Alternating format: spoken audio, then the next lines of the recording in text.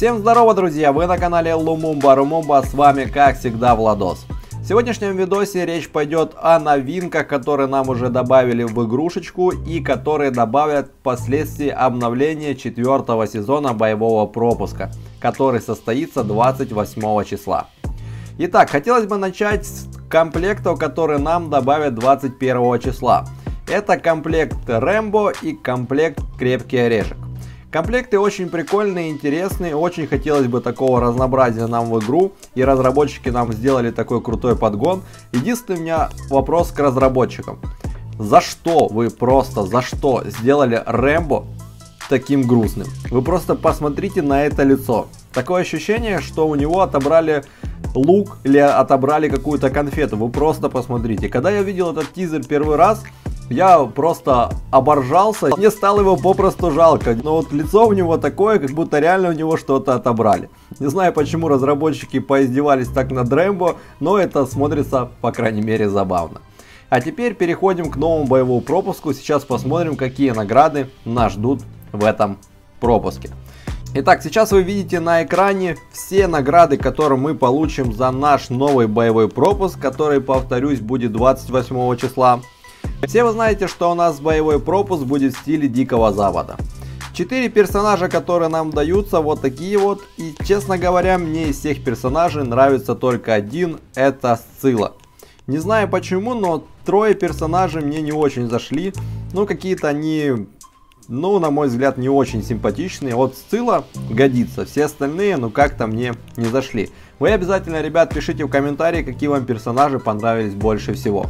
Ниже вы видите, что нам дадут 4 новых облика на наше орудие. Новый облик получит М4, АГР, Сикач и РУС-79У. Кстати, Русика очень давненько уже награждает крутыми скинами, это не может не радовать. И, кстати, ребят, по поводу оружия. С этим обновлением у нас произошел ребаланс оружия, поэтому нужно пересмотреть все свои сборки и тестить их заново, может даже придется их перебирать. Все это мы будем тестить впоследствии этого всего, пока на этом внимание заострять не будем. Переходим к правой стороне наград, которые нам будут даваться. Мы видим эпический скин на новую волыну МК-2. Потом мы видим новый прикольный амулет с рогами, саму пушку МК-2, но к этим пушкам мы еще вернемся в этом видеоролике. Переходим к следующей награде, у нас будет э, новый скорстрик, это Hawk X3. Также у нас будет, естественно, новая эмоция, кстати, вы сейчас увидите, как она реализована вживую.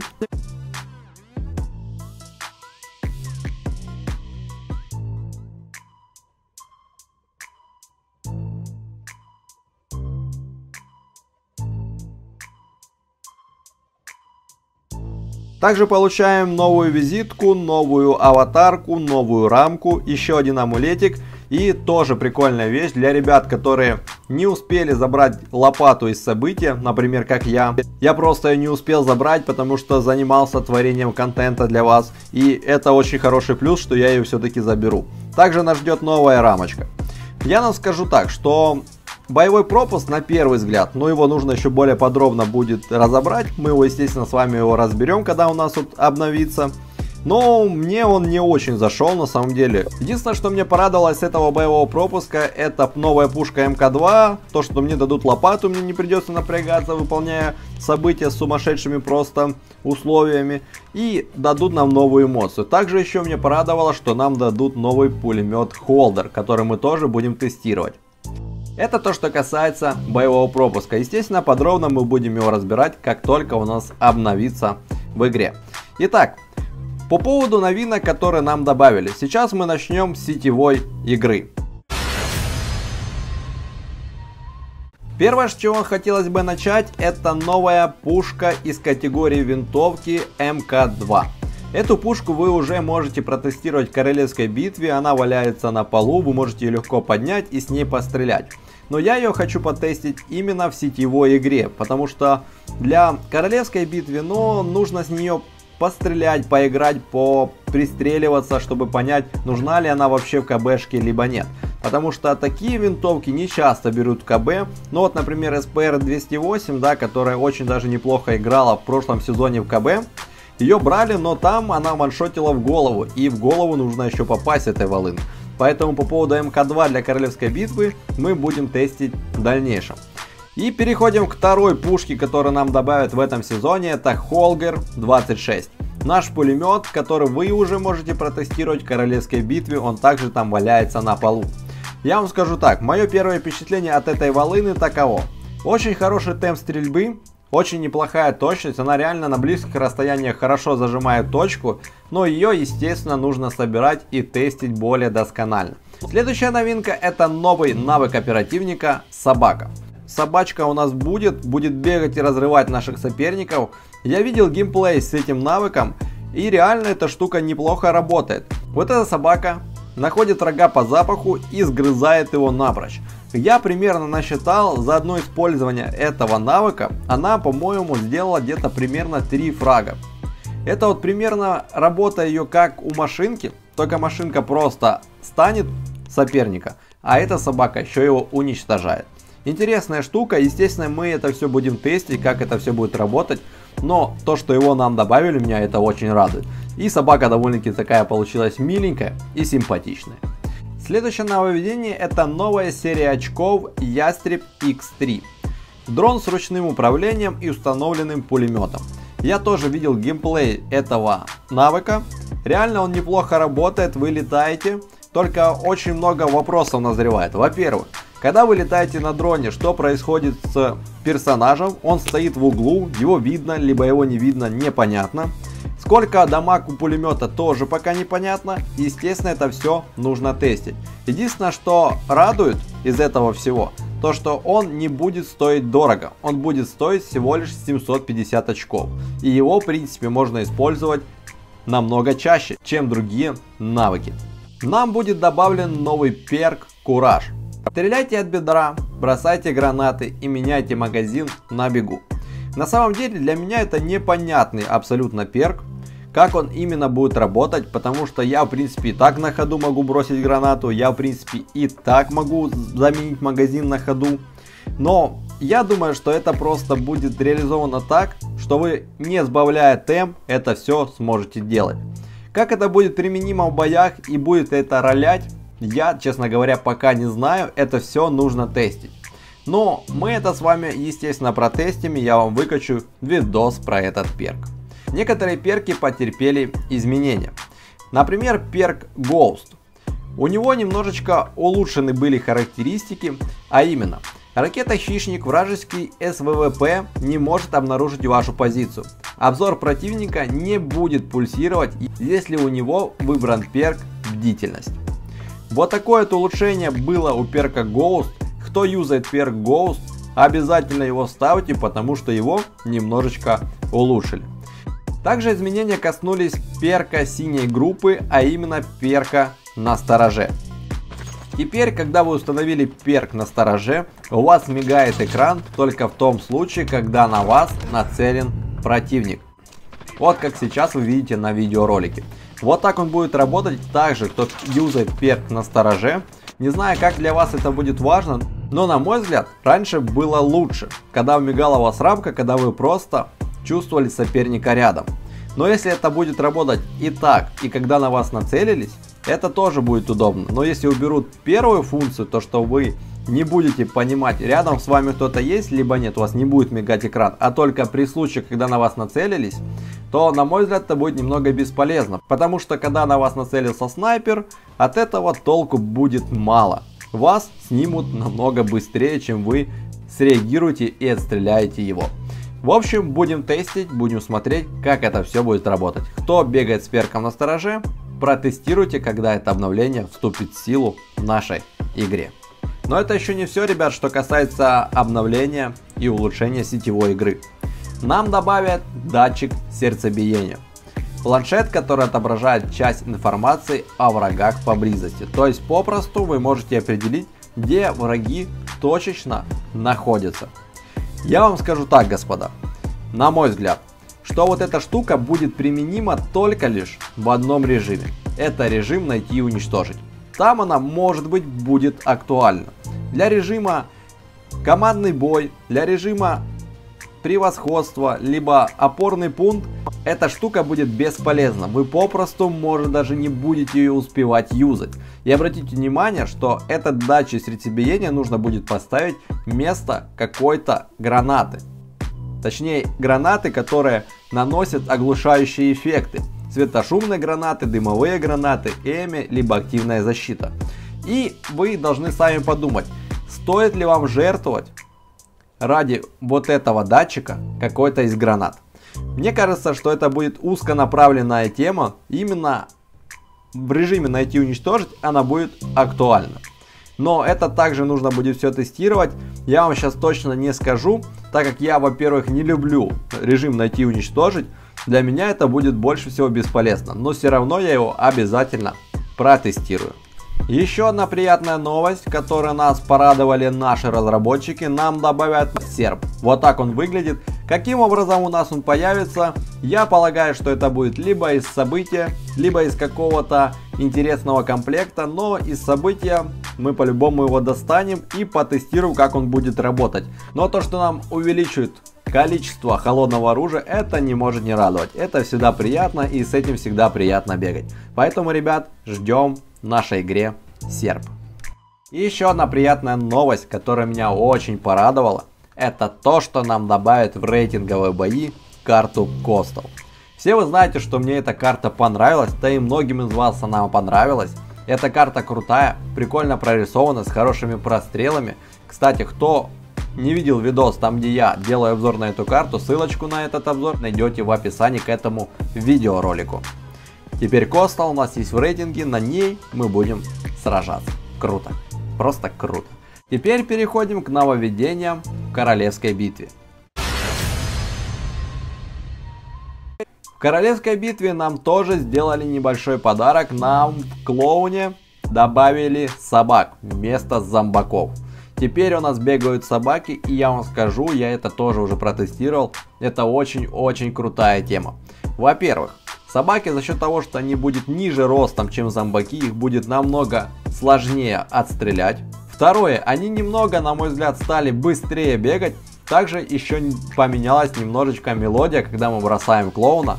И вот этот момент, когда появляются собаки, звучит чуть-чуть другая мелодия. Это, кстати, тоже прикольно, там подсвисты есть, ну, что-то в этом есть, потому что я вот люблю такие мелочи в играх, ну, все вы об этом знаете.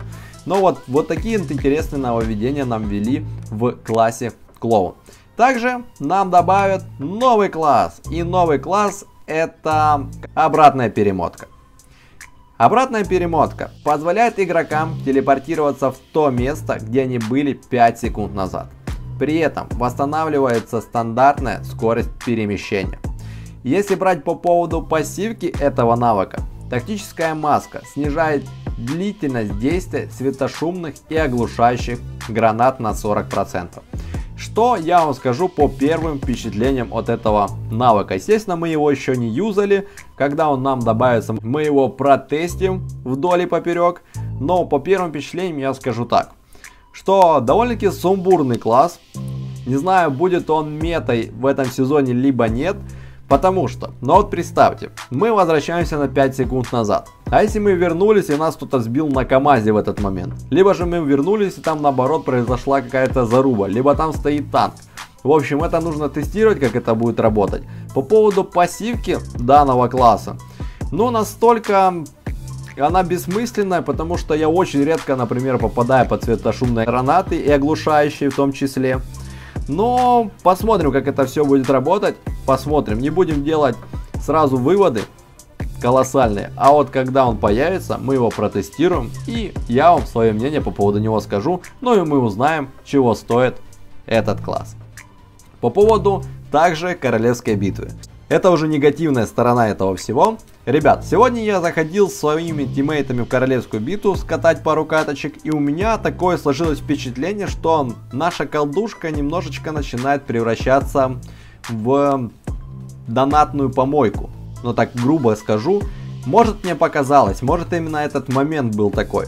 Но было две ситуации, которые отчетливо дали понять, что если чувак донатит в игру, у него есть донатные скины, донатные там эмоции и так далее. В общем, если он крутит рулетки, вкидывает бабки в колду, то у него будет намного больше шансов переиграть любого абсолютно игрока. Первую ситуацию рассказываю, которая была с адмиралом Трояновым. В общем, адмирал Троянов с третьей броней, с уколанным адреналином, то есть 150 хп, кидает в чувака кассетную гранату, которая цепляет этого типа.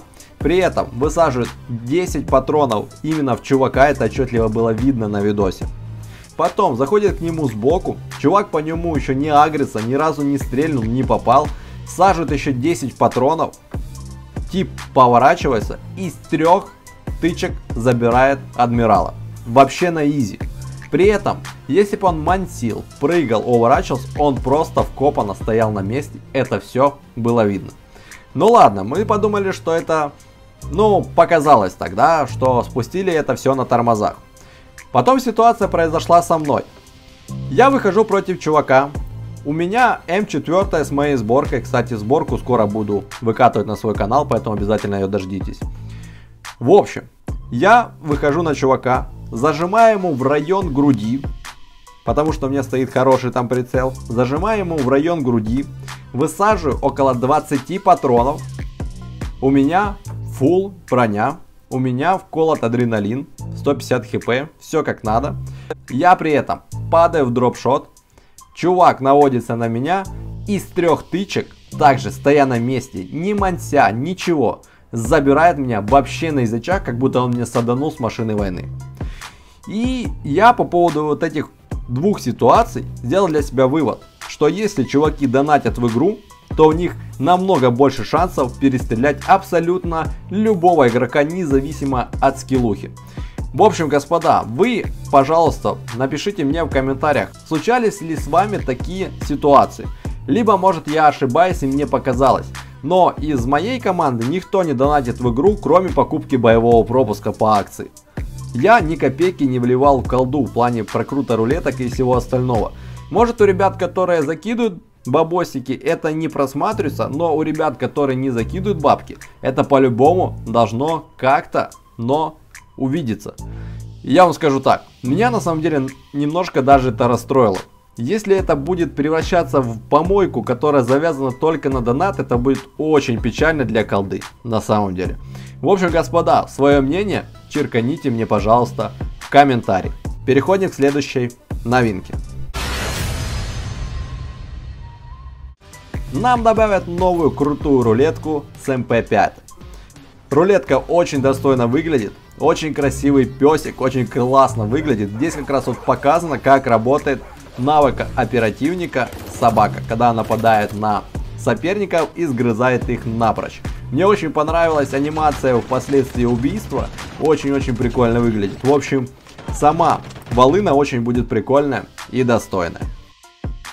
В принципе, по поводу всех важных обновлений я вам все рассказал в этом видеоролике. Единственное, что забыл сказать, то что скоро у нас стартанет чемпионат мира по колде хорошим призовым фондом. Скоро пойдут отборочные сражения. Я постараюсь поучаствовать в этой всей движухе, но не обещаю, что я буду досконально там участвовать, потому что Буду все смотреть по мере своей загруженности. Так как у меня есть основная работа и времени попросту не хватает, потому что я пилю для вас контент, веду свой канал, в общем времени попросту не хватает.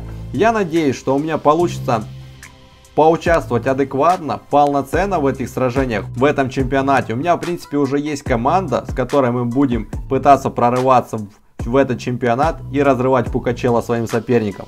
Прежде всего, кто будет серьезно участвовать, всем командам желаю удачи в этом чемпионате. И, если бог даст, свидимся на арене финальной схватки.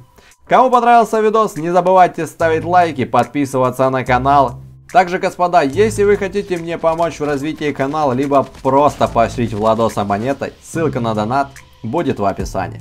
Всех обнял, приподнял. До встречи в следующих видосах. Пока.